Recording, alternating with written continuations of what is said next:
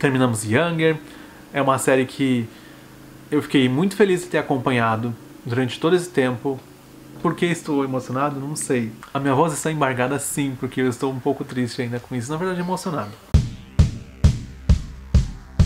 Olá, eu sou o Lúcio, esse é o Pop Stuff e hoje eu tô aqui para finalizar né, esse processo que a gente fez episódio por episódio a partir dessa temporada que a gente começou lá em 2019 para falar de Younger, que é uma série que começou na TV atualmente teve essa exibição na sétima temporada no Paramount Plus e é uma série que fez parte da história do Pop Stuff, eu digo, porque a gente sempre comentou sobre ela, desde a época que saiu o primeiro anúncio, que tudo era muito focado na Hilary Duff, porque a gente né, conhecia muito pouco o resto do elenco. E lá desde 2014, porque a série começou a produção em 2013, fizeram um piloto, aprovaram em 2014, em 2015 estreou.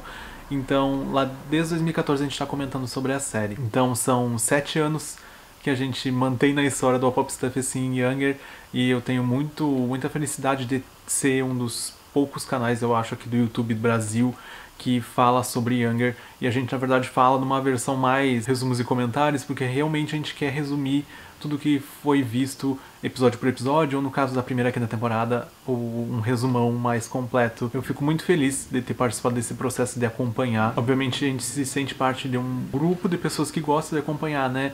E muitas vezes me vem essa pergunta de por que que eu falo sobre uma série que tão pouca gente assiste, que eu poderia falar séries que me dão mais visualização aqui no YouTube, mas eu acho que a gente tem que trabalhar um pouco com identificação, né? E Younger é uma série que eu venho acompanhando e eu venho me identificando com a série cada vez mais, com os personagens, com o elenco. O bom de eu acho que de acompanhar a série por tanto tempo é que a gente consegue identificar os erros, né, no caso de produção, que a gente vê que eles tentaram ajustar, que ainda futuramente talvez o Darren estar em outros projetos precisa uh, ir além também, mas eu acho que falei já um pouco demais e eu vou agora começar a falar sobre esse episódio final, que, como eu tinha comentado, ele teve uma duração maior, teve quase 50 minutos. Então eh, já é algo a mais, né? Porque nós temos basicamente um episódio duplo. Mas vamos lá e começamos com a continuação do episódio anterior, no caso, que tínhamos Liza e Charles se encontrando ali no aeroporto, eles passam a noite juntos e ali entre o momento deles da relação eles percebem algumas coisas que talvez incomode um ao outro ainda. Principalmente o Charles, que o Charles, gente, como eu já disse, ele é chato, né? Putz, eu acho que depois desses sete anos acompanhando todo o conteúdo da série, a gente percebe que o Charles é um chato. eu acho que, na verdade, o Darren Star ele trabalha muito com isso dentro das suas narrativas, e tem um personagem masculino que é chato, né? Que é ranzinza, e ele traz isso dentro da história do Charles e Liza. E no caso, o Charles ele faz toda uma questão de conversar com a Liza sobre o relacionamento deles, e que agora o relacionamento tem que dar certo, no sentido que não pode ter mais mentiras, uh, até ele descobrir algo que a Liza fez mais pra frente do episódio, que no caso a Liza inscreveu o The Miseducation of Hurricane no IADO, que é tipo um concurso de autores, novos autores, né, que eles passam tipo uma colônia de férias escrevendo e desenvolvendo melhor seus textos para lançar, e maior parte desses autores que participa depois viram grandes best-sellers. Ela fez isso escondido do Charles e, na verdade, ela não sabia o que ia acontecer, mas ele foi selecionado. E isso faz com que ela conte para ele a situação e, na verdade, cria o questionamento na cabeça dele para ela se ela ele não tivesse passado, ela teria contado algo. E isso dá uma balançada na relação. Mas isso assim, ó, gente, eu já fiz um, o início, meio e quase fim do episódio. Então já fiz um resumo aí na relação Charles e Liza nesse episódio final. Já digo para vocês que eles não terminam juntos. E eu digo para vocês também que bom, que eu não queria que eles terminassem juntos. De verdade. Nos episódios anteriores a gente viu que a Maggie e a Cass começaram a se relacionar de novo, começaram a conversar de novo, né? Depois do, do problema que elas tiveram na universidade. E a Cass, na verdade, meio que aparentemente está interessada na Maggie. E isso faz com que as duas comecem a conversar um pouco mais. A Meg meio que se irrita com ela porque ela é um pouco indecisa. E também faz com que elas saiam para jantar. E após o jantar, a Meg é surpreendida pela Cass na estação de metrô. Quando a Cass meio que vai atrás dela, a Meg sai do vagão de trem e elas se beijam. E olha, foi um beijaço. E, na verdade, a Meg falou algo anteriormente para Cass que ela precisasse ser mais destemida. E ela usa isso como argumento para poder beijar a Meg. E isso também faz com que a Meg, mais pro fim do episódio, se mostre apaixonada por ela. Como o Charles não foi viajar com a Queen, ele volta pro dia a dia dele na editora e numa conversa ali entre Lauren, Kelsey e Liza, ele avisa que a festa que não ocorreria dos 100 anos da Empirical vai ter que acontecer meio de última hora e foi decisão do pessoal dos investidores de Chicago. E isso fez com que a Lauren tenha que planejar uma festa grandiosa. Porém, eu já digo que a festa ficou muito legal. Obviamente naquele estilão tradicional, mas ficou muito boa. Mas antes da festa ainda tem detalhes sobre a incubadora fechar um acordo ou não com a Empirical. A Kelsey está muito relutante a fechar com eles porque ela tem esperança ainda que vai conseguir um, uma oportunidade melhor, um valor melhor. E no caso ela está ali meio que segurando o aplicativo para tentar ver até que ponto ela consegue ir sem a Empirical e ou talvez seguir sozinha. A Zilia King, que apareceu no último episódio para apresentar o livro dela dentro do evento da incubadora, vai numa reunião com o Redmond dentro da Empirical para saber um pouco mais sobre essa ideia, sobre esse projeto, e ela tem muito interesse de lançar e seguir esse novo padrão de publicação que não é, no caso, entregar o livro fechado, vai lá, publica um capítulo por semana dentro de um aplicativo pago, a autora está ganhando, a editora está ganhando, e o público se adapta a um novo formato de publicação. Inclusive, a ideia é muito boa, hein, Amazon? Não sei se vocês não, não vão querer lançar isso daí. É, dá pra é uma mescla, digamos, de Wattpad com Kindle. Quem sabe? Eu, eu, sinceramente, acharia uma ótima ideia. Mas enquanto eles realmente não fecham um acordo nem com a Zilha, nem com a incubadora, a Kelsey vai dar uma volta com a Zilha pro Redmond conversar um pouquinho com a Liza e com o Charles, porque ele quer oferecer uma proposta para eles, na verdade fazer um convite, que ele quer que a Liza e o Charles vão assistir a prévia de um musical que o namorado dele está produzindo e na verdade é uma prévia para investidores. A Liza e o Charles aceitam o, convite, né? Porque afinal não necessariamente eles seriam obrigados a investir, mas ao chegar lá, eles descobrem que é um musical sobre impostores, né? Pessoas que fizeram coisas erradas para tentar uh, tirar vantagem de outras pessoas. E no caso, eles incluem a Lislot Miller como uma das personagens que está ali no musical. E ficou muito legal porque faz a relação da Sutton Foster, né? A atriz que faz a Liza, com a vida do musical, que ela é uma atriz musical muito prestigiada, faz essa conexão da ficção com a vida real. E isso é muito, muito legal. Só que, obviamente, dentro dos impostores que estão ali na história, a Liza não tem nada a ver, né, com a, a, ali as outras pessoas que estão na história. Obviamente que isso foi feito para conseguir convencer o Charles a bancar a peça e também tirar ela do roteiro. Sobre as incertezas da incubadora ainda, a Liza resolve conversar com a Kelsey e deixá-la livre para seguir sozinha. Afinal, a Liza pretende continuar com a Empirical. Nesse momento, ela ainda estava com o Charles, eles não tinham terminado. Isso fez com que a Kelsey e a Liza prestassem atenção como a narrativa delas ali dentro da editora, como o crescimento delas foi muito rico para as duas. Assim, é, é uma experiência muito boa. E a gente percebe ali que aquela emoção que elas estão em cena eu, certamente é uma emoção que surgiu muito no momento, apesar de ser algo que a gente sabe que pode ter sido ensaiado, mas é, é, são momentos finais né, da série. No episódio passado, a Lauren reencontrou o seu ex-namorado, que é o Max. Então, o Max agora uh, convidou ela para tomar um café e ela, na verdade, sai correndo da festa para encontrar com ele no hospital e lá ela descobre que ele está noivo. Sim, noivo de um outro homem e ela descobre que na verdade ele se descobriu gay nesse período. E na verdade isso meio que causa uma reação na Lauren um pouco inesperada, que é usar a frase que o próprio Max disse que é o que a Lauren faria. E ela, na verdade, sugere, quem sabe eles não vivem um momento poliamoroso ali em que ela pode ser uma das pessoas da relação. E eles topam, aparentemente. E mais pra frente ela gosta também de ressaltar que ela não só está numa relação poliamorosa, como também é não monogâmica, então ela não tem responsabilidade nenhuma em estar totalmente com eles a todo momento. Foi uma cena muito boa, só confirma mais ainda o potencial da Lauren. Eu não vi a Lauren com tanto potencial na série, na estrutura da série, como teve essa temporada. Obviamente que ela acabava meio que deixada de lado por algumas questões que tínhamos outros coadjuvantes que precisavam ser inseridos na narrativa, E nessa temporada, no caso, principalmente a Miriam Shore que fazia a Diana não esteve presente totalmente, só teve naquele episódio. Eu fico muito triste porque eu tinha esperanças que ela aparecesse nesse episódio e não apareceu. Mas como eu já disse anteriormente em outros vídeos, a Lauren completa muito bem essa questão assim de mais uma visão meio absurda de algumas coisas que a Diana às vezes tinha e também traz toda a sua irreverência e é uma personagem assim ó que sinceramente, se eu fosse o Darren Star e me perguntasse quem é o personagem que merece o spin-off, é Lauren. De verdade, não tem como não ser ela. E falando em festa, ainda temos a festa, né, que tá acontecendo a festa ali. A Kelsey encontra o Rob e o Rob mostra uma proposta que chegou para ele no e-mail que é realmente muito boa para a incubadora, mas ela percebe que a proposta não só é ótima, mas também tem uma porcentagemzinha ali que ele vai ganhar por ele ter feito contato com as outras empresas.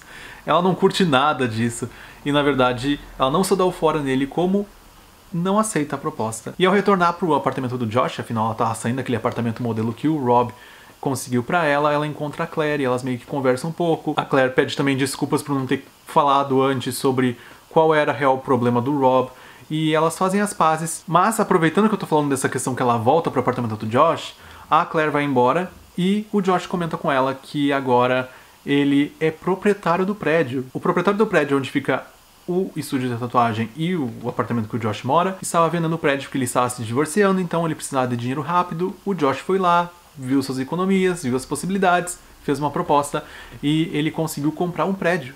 Sim, um prédio com uma loja e quatro apartamentos. E ali a Kelsey poderia ficar, assim como a Lauren, que já estava morando ali de qualquer forma. Achei uma narrativa meio nada a ver, Achei, mas tipo, aparentemente deu para ver que o estúdio de tatuagem do Josh realmente deu bons lucros de acordo com o desenvolvimento das outras temporadas, né? Que a gente viu que o estúdio cresceu, ele foi reconhecido por revistas e tudo mais.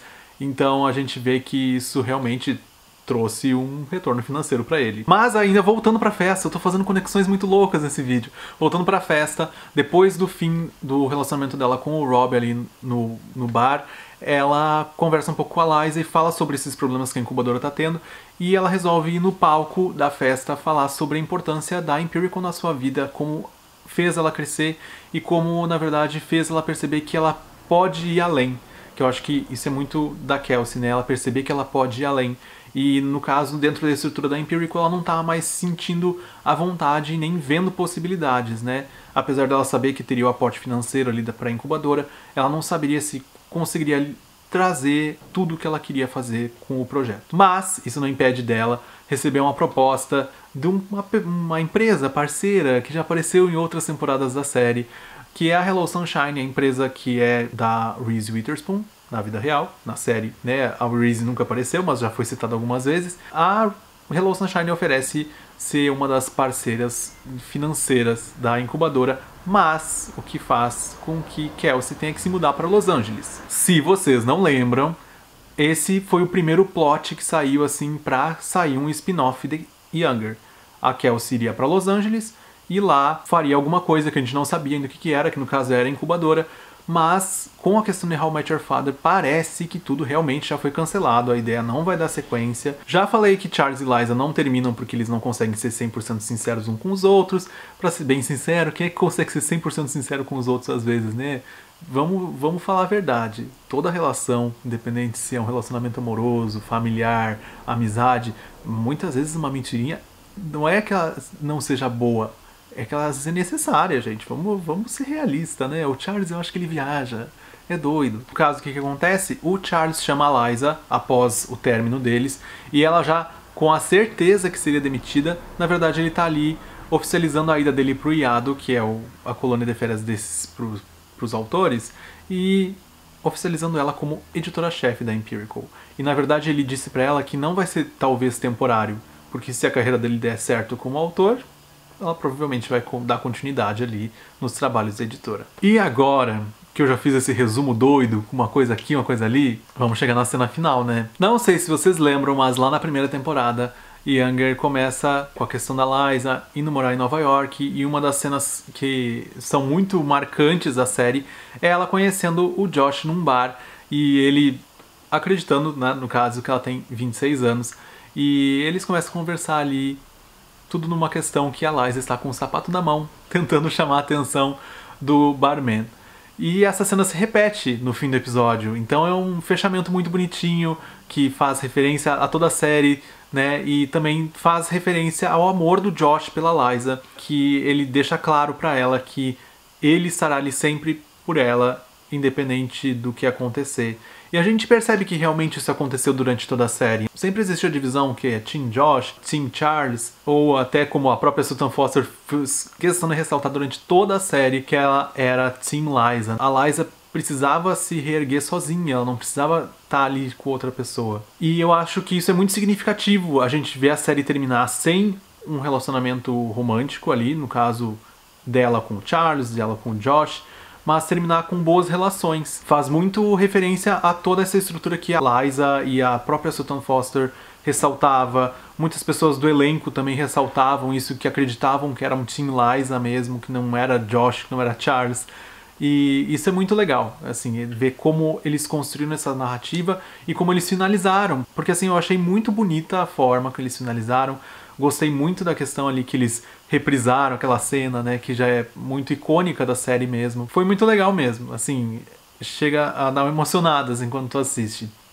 Porque principalmente quando a gente tá aqui produzindo conteúdo, a gente assiste às vezes mais uma vez os episódios. Por exemplo, o episódio final eu vi três vezes, porque tinha muita coisa. E a gente fica, né, preso a, a essa história e a toda essa narrativa. Mas é isso, quem queria saber com quem Liza fica, ela fica aparentemente sozinha, mas mantém boas relações com o Josh e boas relações com o Charles, mas ela tem a certeza que o Josh vai estar ali sempre por ela. Ah, e antes de terminar, vou falar um pouquinho sobre o que eu acho, né, do que vai vir. Ocasionalmente, com o fim da série, tá saindo muita matéria. É entrevista com o elenco individualmente, entrevista com o elenco com mais de um, é entrevista com o produtor, é entrevista com o próprio Darren Star. Então existem inúmeras suposições. O Darren Star agora está envolvido com duas séries, né? Que é o Emily em Paris e com o revival do Sex and the City pro HBO Max. Aparentemente não teremos nada de Younger pelos próximos meses ou pelo próximo ano. Eu acho que Younger vai seguir uma narrativa muito parecida com Sex and the City, que vai ser terminou a série, vamos deixar passar uns anos, a gente retorna com um filme. Até isso foi uma das coisas que surgiu dentro de algumas entrevistas se realmente não poderia ser filmes. Sinceramente, acho que dentro da história de Younger era realmente necessário terminar a série agora na sétima temporada. A gente já estava passando por alguns momentos de repetições, principalmente pela questão Charles, Liza, Liza, Josh, e já começava a ficar chato, e realmente a gente pôde ver nessa temporada que o Charles era o chato da relação, entendeu? Ele que deu uma cagada com tudo. Porque será que não teria dado muito certo se ela tivesse ficado com o Josh lá desde mais início, né? Não que ela tenha ficado no fim da série. Mas eu acho que agora, na verdade, é um ótimo momento para o elenco respirar, o elenco ir em busca de novos projetos. Já tem vários ali que estão em outros projetos. E também dar um tempo para o Darren Star produzir essas coisas que ele está fazendo e quem sabe mais para frente trazer essas histórias de novo dentro de outro formato, quem sabe, né? Talvez filmes para televisão mesmo, dentro do próprio Paramount Plus, por que não? Reuniões de elenco, né? Até porque 2025 não tá tão longe assim para falar dos 10 anos da série. Então, vamos ver o que vai acontecer. Coisas que eu senti falta. Cara, essa temporada falando tanto do Queen of Queens, o livro da Dylan Park, eu jurava que assim como o Marriage Vacation ganhou livro, como o Miss Education of Harry Kane ganhou livro, eu jurava que esse livro ia sair, nem que fosse no digital, para manter, tipo, a ideia da incubadora, sabe? E não saiu nada, tanto que nos últimos episódios, tipo, ela desapareceu, a, a Dylan Park. Eu fiquei meio chateado com a situação que ela desapareceu ali, mas uh, quem sabe, sei lá, o que vai acontecer. E dessa forma terminamos Younger. É uma série que, como eu já disse anteriormente, acompanhou muito tempo da vida do Pop Stuff, uh, como blog, como canal do YouTube. Foi uma série que me ajudou a querer voltar a fazer vídeo. Em 2019 eu fiz toda uma maratona de vídeos da Younger, de outros conteúdos também. Em 2020 eu tava começando o ano super bem, dois vídeos por semana, sempre tudo programadinho e veio a pandemia e me deixou assim quebrado, sem vontade de fazer, uh, sem contar que eu comecei a receber alguns comentários ruins em vídeos antigos que hoje em dia talvez eu não concorde mais nem com a minha opinião e, e aquilo me machucou muito e eu não toda vez que eu pensava me vinha aquilo e eu não conseguia e me fez muito repensar em que momentos eu deveria. Eu acho que uh, deveria voltar, né? Se eu deveria voltar. E quando eu soube que Younger tava voltando de citar, agora é o momento realmente de me preparar. Uh, quando eu fui gravar os quatro primeiros episódios de Younger, porque a gente né, teve aqueles quatro primeiros episódios lançados juntos, foi um dia que eu disse assim: será que realmente eu ainda sei gravar? E isso ficou muito na minha cabeça. E felizmente eu sabia, sabe? Eu fiquei muito feliz, eu fico muito feliz assistindo esses vídeos dessa temporada principalmente, que eu vejo para mim uma evolução uh, muito da questão de como eu me comunico e também de como a série faz bem para mim, sabe? Como essa série ela ficou realmente muito marcada para mim. Eu acho que porque eu pude acompanhar toda a evolução da história, ver como a narrativa dela se completa de maneiras legais e também acompanhar todo o elenco que a gente sabe que eles mudaram muito, que eles tiveram opiniões muito diferentes durante toda a série, não só sobre a história, mas na vida em si e, e sempre muito unidos e muito é muito legal ver, né, a série assim dessa forma. Mas no vídeo passado eu tinha comentado que, apesar de a gente estar tá terminando aqui a série, vamos ter coisinhas mais pra frente para falar sobre o nosso mundinho Younger, como eu brinco aqui. Vai ser focado mais numa parte literária. Eu quero ler agora que a série acabou de verdade. Eu quero ler o livro que deu origem à série, o livro que finaliza a história ali da própria autora da Pamela Redmond, que é o Older, que não tem lançamento no Brasil. Só o primeiro livro tem lançamento no Brasil pela Record. Eu não sei se o contrato ainda é vigente, mas o livro existe nas lojas. Ainda quero ler também o Marriage Education, o The Miseducation of Harry Kane, e também quero ler livros individuais dos atores, que tem o livro do Nico Tortorella, tem livros da Hilary Duff, e muito em breve temos livros da Sutton Foster, então eu quero ler esses livros e vir comentar aqui. Se eu decidir não comentar no YouTube, talvez eu vou comentar no blog, mas eu dou um jeito de avisar por aqui também. Eu acho que o importante é que eu quero manter essa conexão com essa história, com esses personagens, com esse elenco, e eu acho que é uma das formas que eu tenho como fazer. E obviamente que sempre que eu puder, eu vou estar falando sobre séries que envolvam esse elenco, que é um elenco que eu gosto muito. Já digo que teremos alguns vídeos falando sobre o que a gente acha que pode vir no futuro da série. Quase certo que teremos convidados, não vou revelar ainda quem são, mas muito em breve aqui no canal do YouTube. E eu quero agradecer a todo mundo que acompanhou desde 2019 aqui no YouTube, desde 2014 lá no Pop Stuff no blog. E é isso. Terminamos esse projeto, voltaremos muito em breve com novidades. Uh, não sei se eu vou fazer com alguma outra série episódio por episódio, e mas calma, tudo vai se, se adaptar e se organizar. E como eu gosto de dizer, para mim essa ideia de trabalhar com temporadas dentro do YouTube, temporadas de conteúdo, são formas mais fáceis para mim de organizar. No caso, a temporada de Younger está chegando ao fim, mas teremos ainda conteúdo de Younger por aqui. É isso por hoje, e eu quero agradecer mais uma vez. E, obviamente, não esquece de fazer sua inscrição no canal, deixar o seu like, deixar o seu comentário. E a gente se vê muito em breve aqui no Pop Stuff e também no popstuff.com. Não esquece de ir lá, viu? Tem sempre texto legal, meu, da Desirê. E é isso. A gente se vê em breve. Tchau.